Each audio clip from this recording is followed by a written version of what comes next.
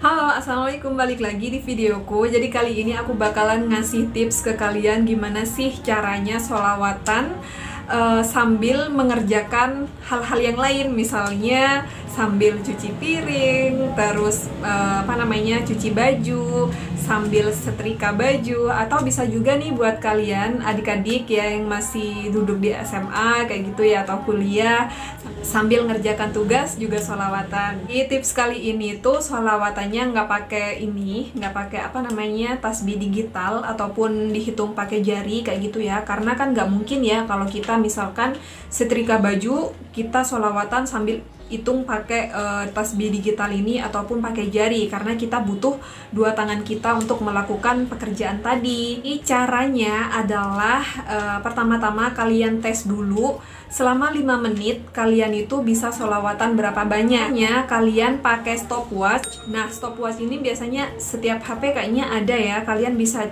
cari di uh, pengaturan alarm. Itu biasanya ada pilihan stopwatch.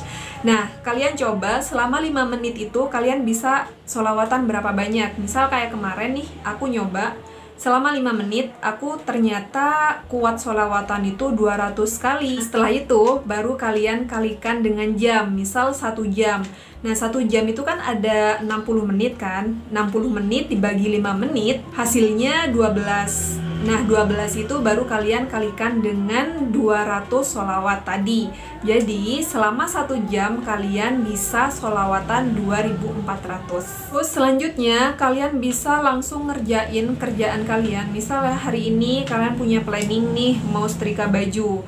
Nah, kalian bisa lihat jamnya mulai setrika baju tuh jam berapa. Misal satu jam, dari jam 8 sampai jam 9. Nah yaudah kalian sambil memulai setrika kalian langsung solawatan dan selama rentang waktu satu jam uh, sol, apa namanya setrika baju itu kalian saya juga solawatan kan? Itu udah nggak usah dihitung. Kalian pakai patokan yang tadi aku bahas itu. Berarti selama satu jam setrika baju kalian sudah bisa solawatan sebanyak 2400 ini bisa uh, dipraktekin juga misal kalian ngerjakan tugas. Nah kalian ngerjakan tugasnya itu dari jam berapa ke berapa? Tinggal dikalikan aja sama uh, banyaknya solawat per 5 menit tadi. Nah itu dia sih tipsnya dari aku. Semoga bermanfaat ya, karena ini gampang banget. Kalian gak usah tanya-tanya lagi gimana sih kak cara ngitungnya sholawat kalau seandainya kita nggak bisa ngitung pakai jari atau atau ataupun pakai uh, tasbih digital karena kan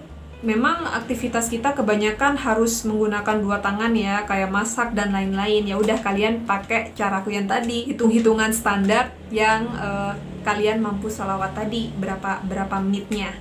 Itu aja video kali ini semoga membantu ya. Sampai ketemu di video selanjutnya. Wassalam